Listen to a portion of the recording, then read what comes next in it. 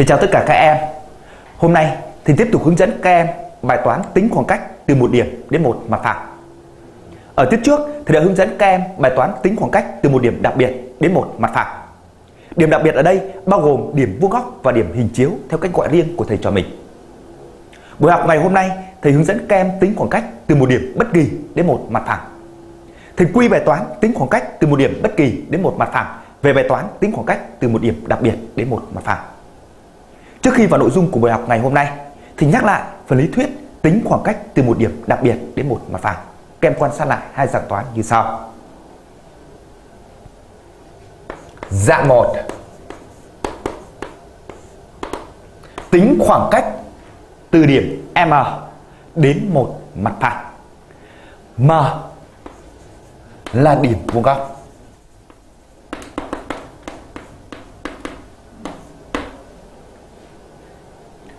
Nội dung của dạng toán như sau. Tính khoảng cách từ điểm M đến mặt phẳng P với điểm M thuộc mặt phẳng Q, vuông góc với mặt phẳng P. Kèm lưu ý, điểm M thuộc mặt phẳng Q, vuông góc với mặt phẳng P. Kem quan sát hình vẽ như sau.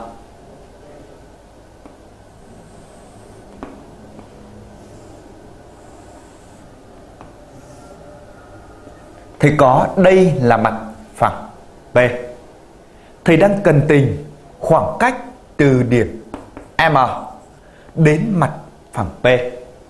Nhưng với điểm M thuộc mặt phẳng Q.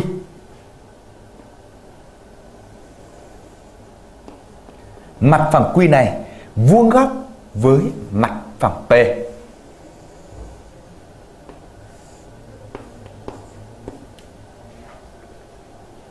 Kem làm như sau. Bước thứ nhất, kem xác định giao tuyến của hai mặt phẳng P và Q. Hay nói cách khác là xác định đường thẳng chung của hai mặt phẳng. Thì gọi là đường thẳng delta.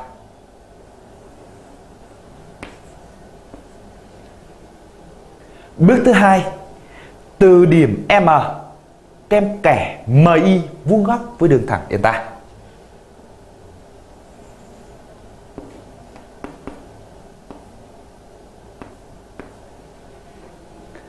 Khi đó, thầy có MI chính là khoảng cách từ điểm M đến mặt phẳng P.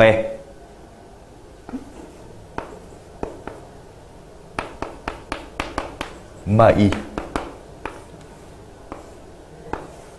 Và điểm M như thế này thì gọi là điểm vuông góc. Thì cho mình cùng chuyển sang dạng số 2.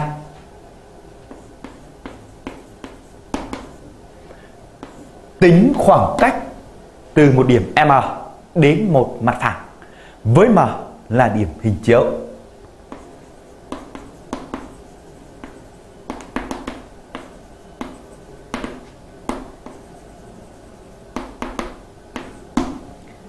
Điểm hình chiếu là cách gọi riêng của thầy trò mình. Các em quan sát hình vẽ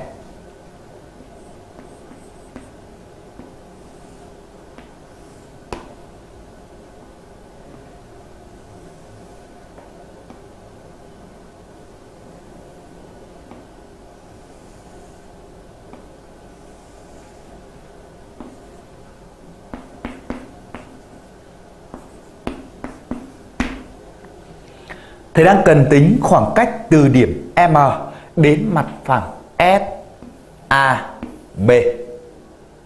Với M là hình chiếu vuông góc của điểm S thuộc mặt phẳng SAB lên mặt phẳng MAB.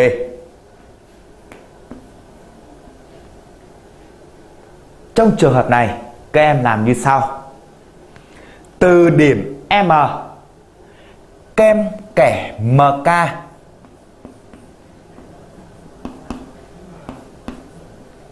vuông góc với AB. Được chưa? Kem lưu ý thầy, trong trường hợp đặc biệt, điểm K sẽ trùng với điểm A.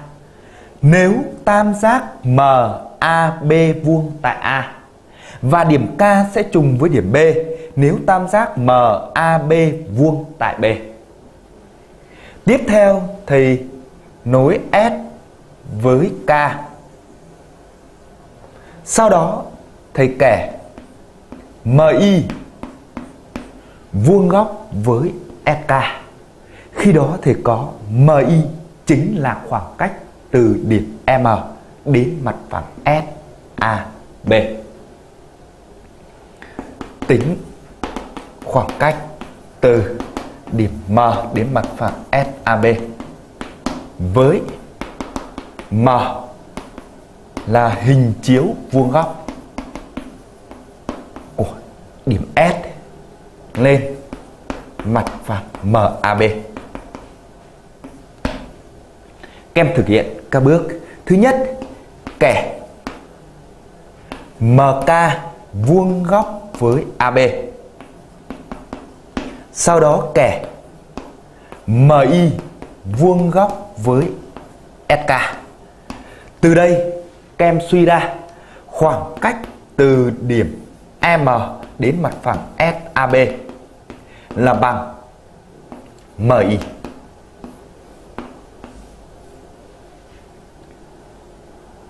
Thầy hướng dẫn các em cách tính MI như sau kem gắn MI vào tam giác vuông SMK. kem dựa vào giả thiết tính cho thầy SM và dựa vào cách dựng kem tính cho thầy MK. Sau đó áp dụng công thức 1 chia cho MI bình bằng 1 chia cho MS bình cộng với 1 chia cho MK bình. Từ đó kem suy được ra MI chính là khoảng cách từ điểm M đến mặt phẳng SAB. Và điểm M như thế này thì gọi là điểm hình chiếu.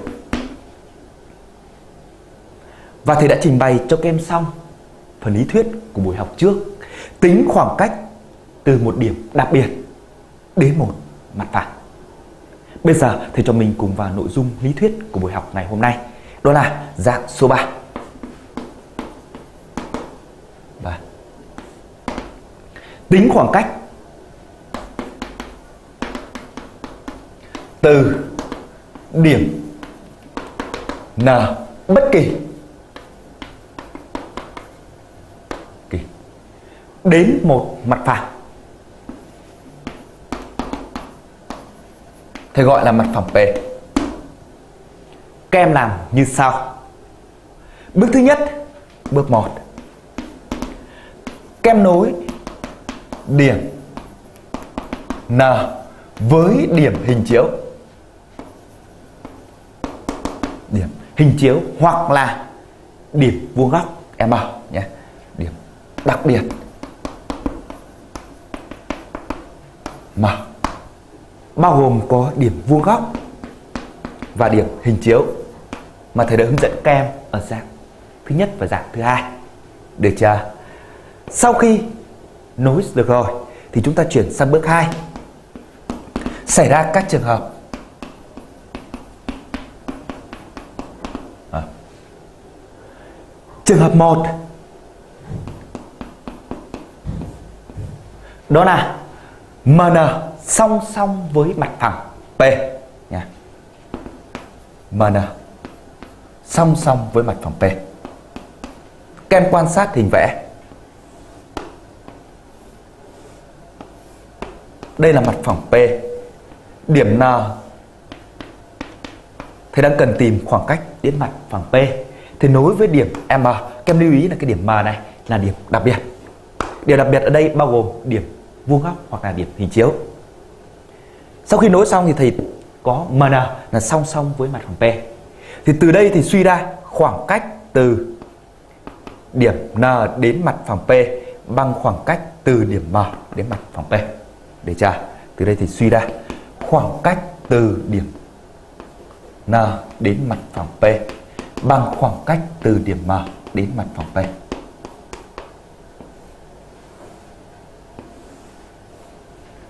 Vậy là trong trường hợp này thì chỉ cần đi tính khoảng cách từ điểm đặc biệt M đến mặt phẳng P Thì thầy có được khoảng cách từ điểm N bất kỳ đến mặt phẳng P. Mà cách tính khoảng cách từ điểm đặc biệt M đến mặt phẳng P thì thầy cho mình đã làm rất nhiều ở tiết trước, chính là dạng số 1 và dạng số 2. Bây giờ thầy cho mình cùng xét trường hợp số 2. Trường hợp 2 MN cắt mặt phẳng P tại điểm Y. Các em quan sát hình vẽ. Thầy có mặt phẳng P. Thầy đang cần tìm khoảng cách từ điểm N đến mặt phẳng P. Thì nối điểm N này với điểm đặc biệt M.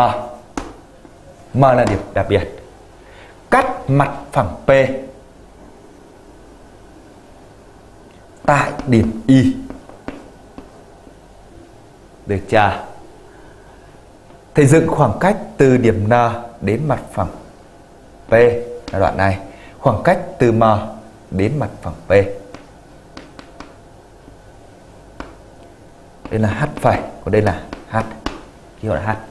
Kem quan sát cho thầy tam giác M I H có M H song song với gì? N H phẩy.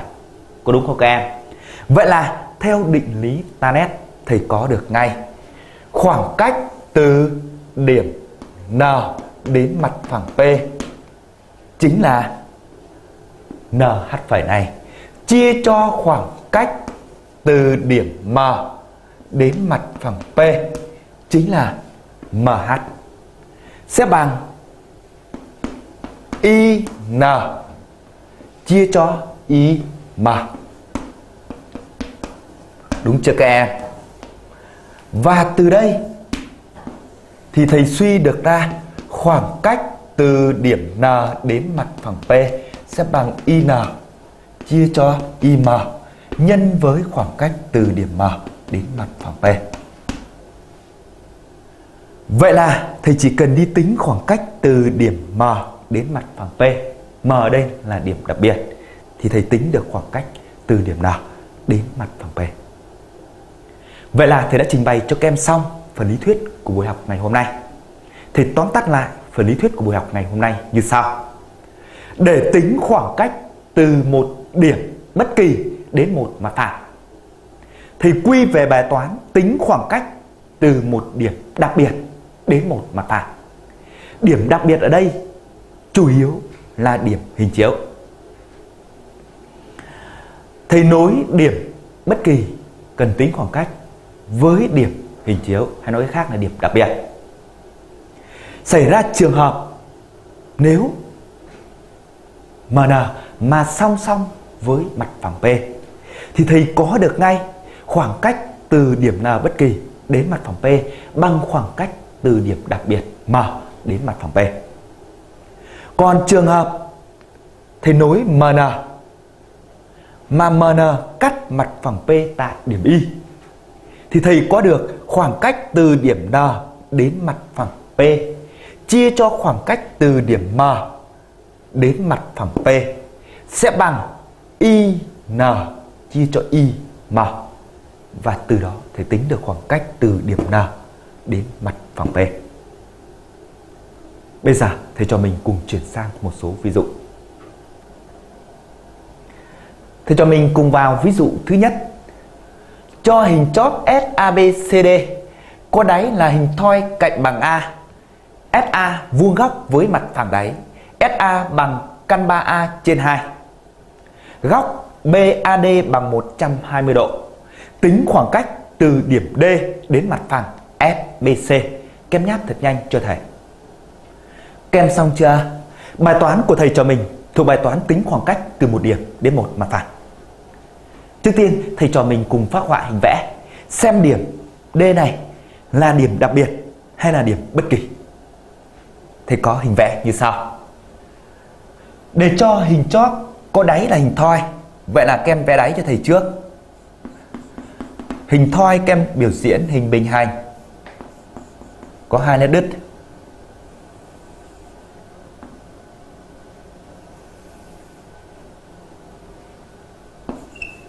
A, B, C, D thì ký hiệu các cạnh bằng nhau và bằng A. Theo giả thiết thì góc B, A, D bằng 120 độ. Tiếp theo thì cho mình cùng dựng chiều cao. Giả thiết cho SA vuông góc với mặt phẳng đáy. Từ đây thì suy ra chiều cao chính là SA. Thầy dựng SA vuông góc với mặt phẳng đáy.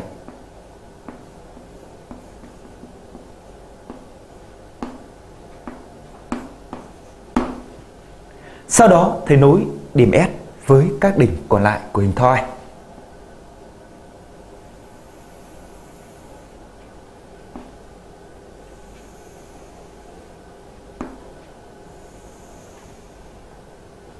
Khi đó thầy có được hình chóp S, A, B, C, D. Đáy là hình thoi có cạnh bằng A Góc A bằng 120 độ. SA vuông góc với mặt phẳng đáy. SA để cho là căn 3 A trên 2 Nhiệm vụ của thầy cho mình cần tính khoảng cách từ điểm D đến mặt phẳng S, B, C. Thầy đánh dấu mặt phẳng. Vậy là điểm D của chúng ta không thuộc điểm đặc biệt. Điểm đặc biệt ở đây là điểm nào? Kem quan sát. Điểm A là hình chiếu vuông góc của điểm S lên mặt phẳng đáy. Từ đây thì suy ra điểm A chính là điểm đặc biệt. Phải chưa các em? Để tính khoảng cách từ điểm D đến mặt phẳng S, B, C thì nối điểm D với điểm đặc biệt A Thầy thấy rằng AD song song với mặt phẳng SBC. Vì sao? Vì AD song song với BC nằm trong mặt phẳng SBC. Nên thầy có được AD song song với mặt phẳng SBC. Từ đây thì suy ra khoảng cách từ điểm D đến mặt phẳng SBC bằng khoảng cách từ điểm A đến mặt phẳng SBC. Vậy là bài toán của chúng ta rơi vào trường hợp thứ nhất. Thầy trình bày như sau. Thầy có A là hình chiếu vuông góc của S lên mặt phẳng A, B, C, D. Được chưa? Nối D với A. Thì suy được ra, suy được ra. DA song song với mặt phẳng SBC vì DA song song với BC đường BC này nằm trong mặt phẳng SBC Vậy là từ đây thì suy được ra khoảng cách từ điểm D đến mặt phẳng SBC bằng khoảng cách từ điểm A đến mặt phẳng SBC.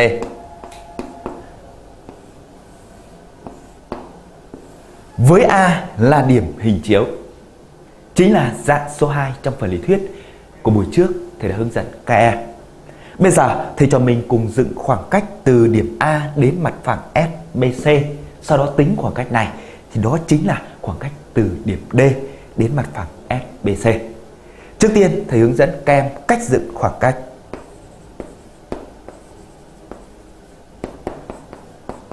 Từ điểm A đến mặt phẳng SBC.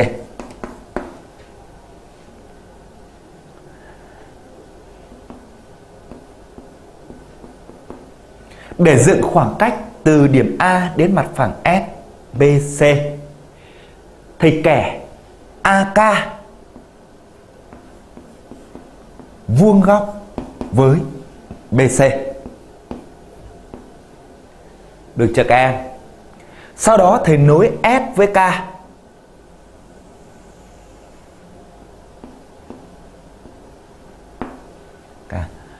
Thì kẻ AI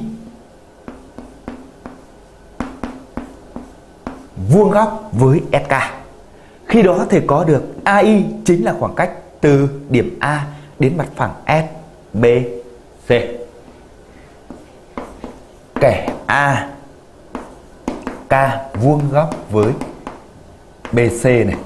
Kẻ. Kẻ. AI vuông góc với SK từ đây thì suy được ra khoảng cách từ điểm A đến mặt phẳng SBC chính là bằng AI. Bây giờ thầy cho mình cùng tính AI.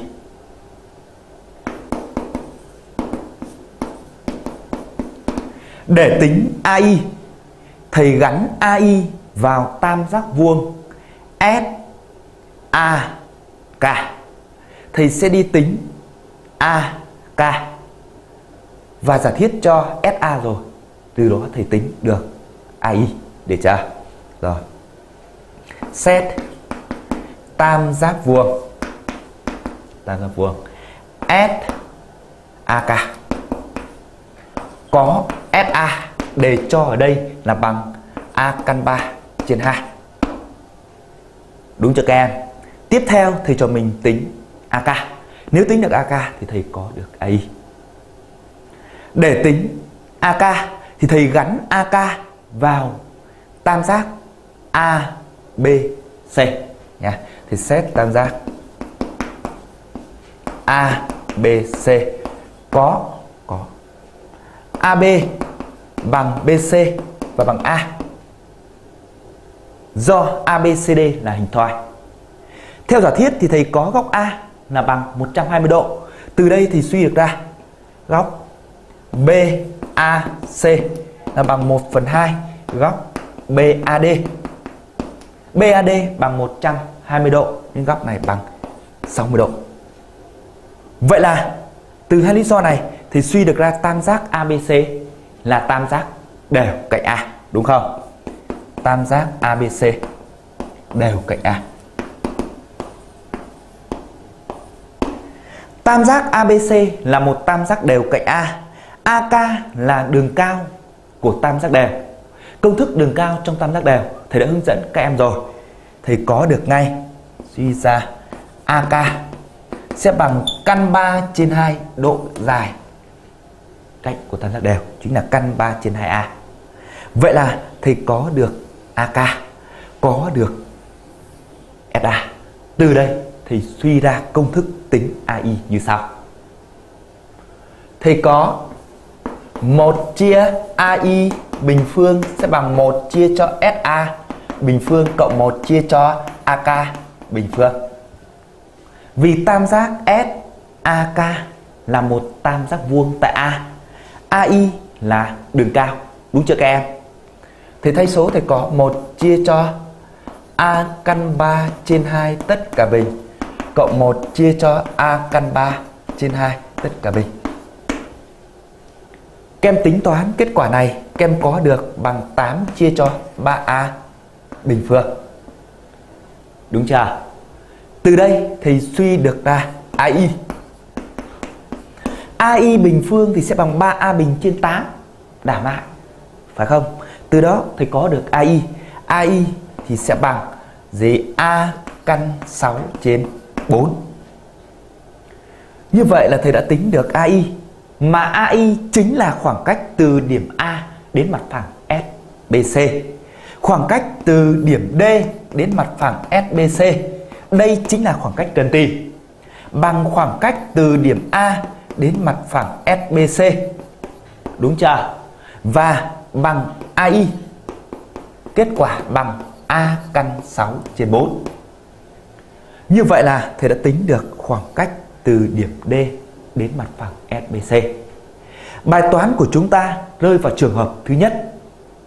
Sau khi nối điểm D với điểm đặc biệt là điểm hình chiếu A, thì thầy có được DA song song với mặt phẳng SBC. Từ đó thầy suy ra khoảng cách từ điểm D đến mặt phẳng SBC cần tìm, bằng khoảng cách từ điểm hình chiếu A đến mặt phẳng SBC. Và thầy sử dụng lý thuyết dạng số 2 để dựng khoảng cách từ điểm A đến mặt phẳng SBC và tính khoảng cách này. Bây giờ thầy cho mình cùng chuyển sang các ví dụ tiếp theo. Ví dụ số 2 thì trích từ đề thi Đại học khối A A1 năm 2014. Cho hình chóp SABCD có đáy là hình vuông cạnh A, SD bằng 3A trên 2. Hình chiếu vuông góc của điểm S lên mặt phẳng đáy ABCD là trung điểm của AB. Tính khoảng cách từ điểm A đến mặt phẳng sbd Kem nhắc thật nhanh cho thầy. Kem xong chưa? Bài toán của thầy cho mình vẫn thuộc bài toán tính khoảng cách từ một điểm đến một mặt phẳng. Để tính được khoảng cách từ điểm A đến mặt phẳng FBD, trước tiên thầy cho mình cùng phát họa hình vẽ xem điểm A có thuộc điểm đặc biệt hay không. Nếu thuộc điểm đặc biệt thì thầy sử dụng dạng thứ nhất và dạng số 2 để tính. Còn nếu điểm A không phải là điểm đặc biệt thì thầy dùng dạng số 3. Để cho hình chóp SABCD có đáy là hình vuông. Trước tiên thầy cho mình cùng vẽ đáy trước. Dựng hình vuông ABCD.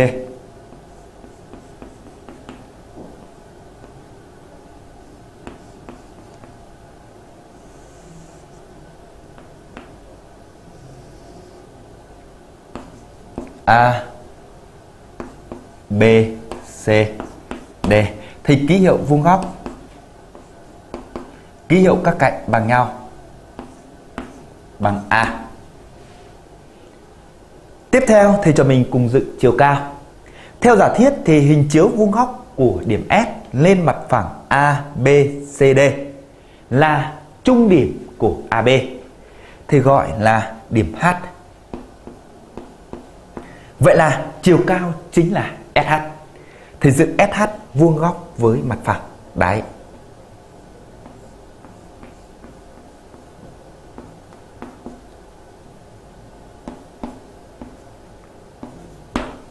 thì nối S với các đỉnh của hình vuông.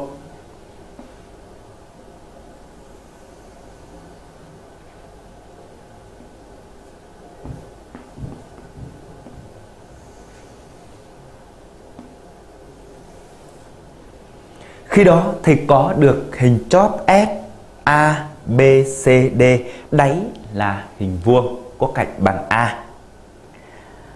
Hình chiếu của điểm S lên mặt phẳng đáy là điểm H, trung điểm của AB. Bây giờ thầy cho mình cùng tiến hành tính khoảng cách từ điểm A đến mặt phẳng S, B, D.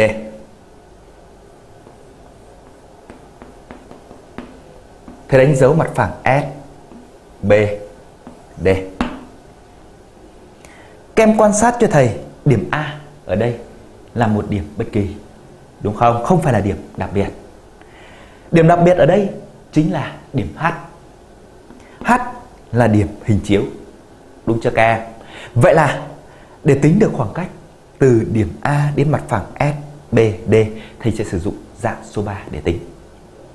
Thầy nối A với H, cắt mặt phẳng S, B, D tại điểm B. Phải chưa các em? Khi đó thì có được khoảng cách từ điểm A đến mặt phẳng S, B, D chia cho khoảng cách từ điểm H đến mặt phẳng S, B, D bằng BA chia cho BH. Và từ đó thì tính được khoảng cách từ điểm A đến mặt phẳng SBD. Thì trình bày như sau. Đây. Thì có H là hình chiếu vuông góc của điểm S lên mặt phẳng đáy ABCD. Cái này theo giả thiết. Đúng chưa các em? Thì nối A với H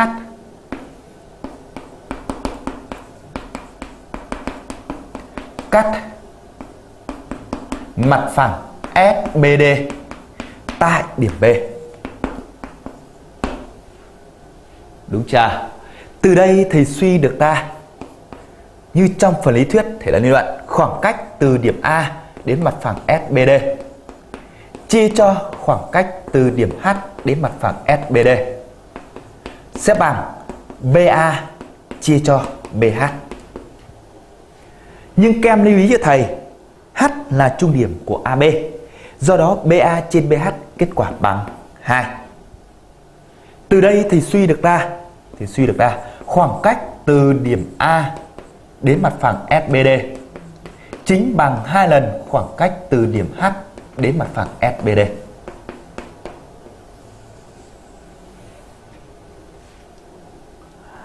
Điểm H của chúng ta là điểm hình chiếu, hay nói khác là điểm đặc biệt. Bây giờ thầy cho mình cùng đi dựng khoảng cách từ điểm H đến mặt phẳng SBD và tính khoảng cách này.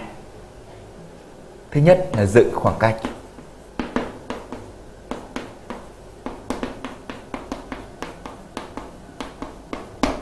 Điểm H là điểm hình chiếu, do đó thầy sử dụng dạng số 2 để dựng. Từ H thầy kẻ thầy nối A với C trước. HK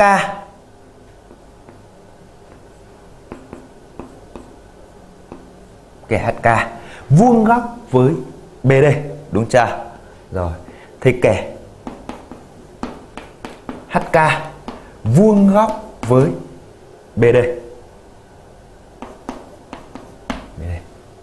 Và thì suy được luôn ra HK là song song với AO thì gọi đây là O. Đúng chưa? Vì theo tính chất hình vuông thì AC cũng vuông góc với BD, đúng chưa các em? Từ đây thì suy luôn ra đó là gì? HK song song với AO. À. Tiếp theo, thì nối S với K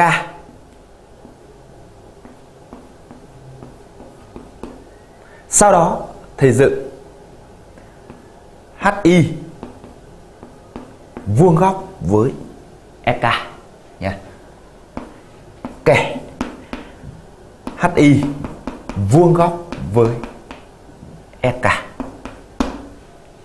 Thì từ đây thì suy được ra, suy được ra khoảng cách từ điểm H đến mặt phẳng FBD chính là bằng HI. Bây giờ thì cho mình cùng đi tính HI. Để tính HI thầy gắn vào tam giác vuông SHK. Thì xét tam giác vuông HK vuông tại H. Vì sao? Vì SH vuông góc với mặt phẳng đáy thì đương nhiên, vuông góc với HK nằm trong mặt phẳng đáy. Đúng chưa các em? Thì có. Thì có. HK thì tính HK trước HK thì gì bằng 1 phần 2 AO vì sao vì HK chính là đường trung bình trong tam giác ABO đúng không vì HK là đường trung bình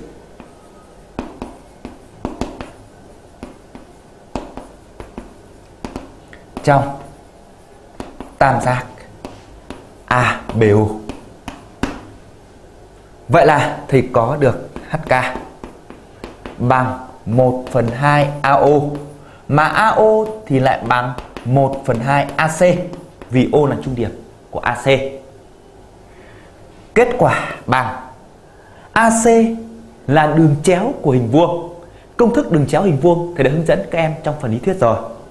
Bằng căn 2 nhân với độ giải cạnh. Thầy có được kết quả căn 2 trên 4 à. Vậy là thầy đã tính được xong HK. Tiếp theo thầy cho mình cùng đi tính SH. Có được SH, có được HK thì thầy sẽ tính được HI. Tiếp theo thầy cho mình tính SH. Để tính SH thầy gắn vào một tam giác vuông đã biết cạnh để tính. Thế các em quan sát cho thầy giả thiết cho SD bằng 3A trên 2. Do đó thầy sẽ gắn SH vào tam giác vuông SHD. Khi đó là thầy có được cạnh huyền SD rồi. HD thì tính được bởi HD là cạnh huyền trong tam giác vuông HAD đã biết hai cạnh có vuông. Đúng chưa? Vậy là thầy tính được HD có được cạnh huyền thì thầy tính được SH. Thầy có lời giải tiếp theo như sau. Thầy xét tam giác vuông vuông SHD vuông tại H. H. Vì sao lại vuông tại H? Vì SH vuông góc với mặt phẳng đáy thì đương nhiên vuông góc với HD nằm trong mặt phẳng đáy. Phải chưa các em? Thì có SD ở đây chính là bằng 3A trên 2 cái này theo giả thiết thế còn HD HD thì bằng căn bậc 2 của AD bình cộng với AH bình bằng căn bậc 2 của A bình cộng với A trên 2 tất cả bình. Kết quả là bằng A căn 5 trên 2. Đúng chưa? Có được HD, có SD. Từ đây thì suy được ra SH. SH bằng căn bậc 2 của gì? SD bình phương trừ đi HD bình phương. Kết quả ở đây bằng căn bậc 2 của 3A trên 2 tất cả bình trừ đi A căn 5 trên 2 tất cả bình. Tính ra kem có được kết quả là bằng A. Như vậy là thầy tính xong SH. HK thầy đã tính được bên trên. Từ đây thầy suy được ra công thức tính HI. 1 chia cho HI bình phương sẽ bằng 1 chia cho SH bình phương cộng với 1 chia cho HK bình phương. Thay vào kem có được 1 chia cho A bình cộng với 1 chia cho A căn 2 trên 4 tất cả bình. Tiến hành rút gọn thì kem được kết quả đây chính là bằng 9 chia cho A bình phương. Vậy là từ đây thì suy được ra HI bằng A trên 3. HI chính là khoảng cách từ điểm H đến mặt phẳng SBD. Phải không các em? Vậy thầy có được khoảng cách từ điểm A đến mặt phẳng SBD bằng hai lần HI hay chính là hai lần khoảng cách từ điểm H đến mặt phẳng SBD. Kết quả bằng 2A trên 3. Vậy là thầy đã hoàn thành cho các em xong đề thi đại khối A A1 năm 2014 tính khoảng cách từ một điểm bất kỳ đến một mặt phẳng. Và thầy nối điểm bất kỳ A với điểm hình chiếu H, thì AH cắt mặt phẳng SBD tại điểm B.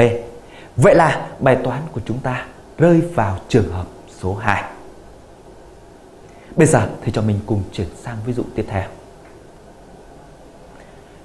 Ví dụ số 3 thì trích từ đề thi Đại học khối A A1 năm 2013. Cho hình chóp SABC có đáy là tam giác vuông tại A. Góc ABC bằng 30 độ. SBC là tam giác đều cạnh A. Mặt phẳng SBC vuông góc với mặt đáy ABC. Tính khoảng cách từ điểm C đến mặt phẳng SAB. Kem nhắc thật nhanh cho thầy. Kem xong chưa? Bài toán của thầy cho mình vẫn thuộc bài toán tính khoảng cách từ một điểm đến một mặt phẳng. Để tính được khoảng cách từ một điểm đến một mặt phẳng thì cho mình cần phát họa hình vẽ. Xem điểm đó thuộc dạng toán nào trong ba dạng toán mà thầy đã cung cấp cho các em. Bây giờ thì cho mình cùng phát họa hình vẽ, hình chóp SABC có đáy là một tam giác vuông tại A. Thầy dựng đáy trước là một tam giác vuông tại A.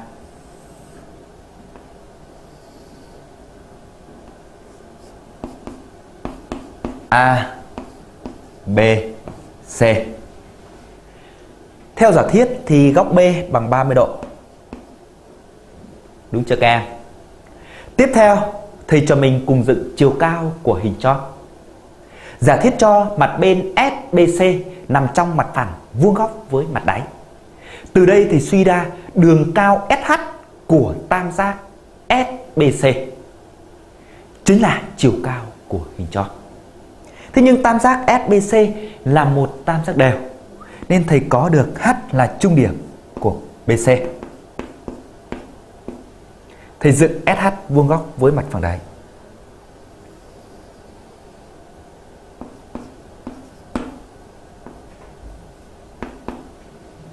Nối S với ba đỉnh của tam giác thì có được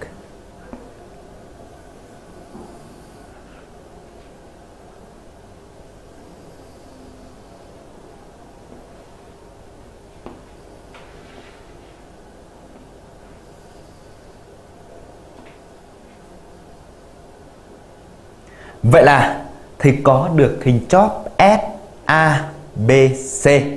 Đáy là một tam giác vuông tại A. Mặt bên S, B, C là một tam giác đều có cạnh bằng A và S, B, C nằm trong mặt phẳng vuông góc với mặt đáy. Bây giờ thì cho mình cùng tính khoảng cách từ điểm C đến mặt phẳng S, A, B.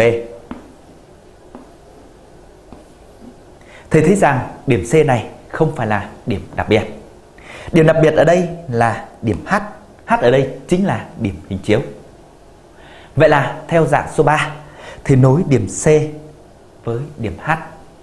Cắt mặt phẳng SAB tại điểm B. Từ đây, thầy tính được khoảng cách từ điểm C đến mặt phẳng SAB thông qua tính khoảng cách từ điểm H đến mặt phẳng SAB. Thầy có lời giải cụ thể như sau.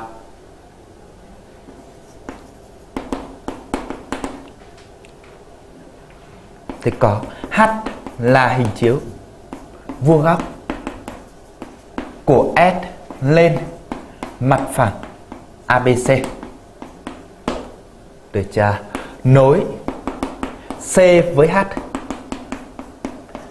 cắt mặt phẳng SAB tại điểm B. Từ đây thì suy được ra khoảng cách từ điểm C đến mặt phẳng SAB chia cho khoảng cách từ điểm H đến mặt phẳng SAB bằng BC chia cho BH. Thế nhưng kem lưu ý với thầy, H là trung điểm của BC, do đó thì có BC chia cho BH là bằng 2. Vậy từ đây thì suy được ra khoảng cách từ điểm C đến mặt phẳng SAB là bằng hai lần khoảng cách từ điểm H đến mặt phẳng SAB. Vậy là thầy đã quy bài toán tính khoảng cách từ điểm C bất kỳ đến mặt phẳng SAB. Về bài toán tính khoảng cách từ điểm H là điểm hình chiếu đến mặt phẳng SAB. Bây giờ thầy cho mình cùng sử dụng lý thuyết dạng thứ hai để dựng khoảng cách từ điểm H đến mặt phẳng SAB và tính khoảng cách này. Thứ nhất là dựng khoảng cách từ điểm H đến mặt phẳng SAB. Các em lưu ý thầy H ở đây chính là điểm hình chiếu. Từ H thầy kẻ HK vuông góc với AB. Thì thầy có được HK là song song với AC vì AC cũng vuông góc với AB. Kẻ HK vuông góc với AB. Thì thầy suy được ra, suy được ra HK là song song với AC. Đúng chưa các em? Tiếp theo, thầy nối S với K. Sau đó thầy dựng HI vuông góc với SK. ok HI vuông góc với SK. Từ đây thầy suy được ra khoảng cách từ điểm H đến mặt phẳng SAB chính là bằng HI. Bây giờ thầy cho mình cùng đi tính HI. Thầy gắn HI vào tam giác vuông SHK nha. Thì xét tam giác vuông SHK vuông tại Do SH vuông góc với mặt phẳng đáy thì đương nhiên vuông góc với HK nằm trong mặt phẳng đáy. Thầy đi tính, hai cạnh góc vuông đó là gì? SH và HK. Nếu tính được hai cạnh góc vuông này thì thầy tính được đường cao HI. Thầy có ngay SH. SH là đường cao trong tam giác đều SBC có cạnh bằng A. Công thức đường cao trong tam giác đều thầy đã hướng dẫn các em rồi. Bằng căn 3 trên 2 nhân độ dài cạnh là nhân A. Đúng chưa? Vậy là thầy đã tính được SH. Tiếp theo thầy tính HK nhé, thầy tính HK. Thầy có HK thì bằng 1 phần 2 AC. Vì sao? Vì HK là đường trung bình của tam giác ABC. Vì HK là đường trung bình.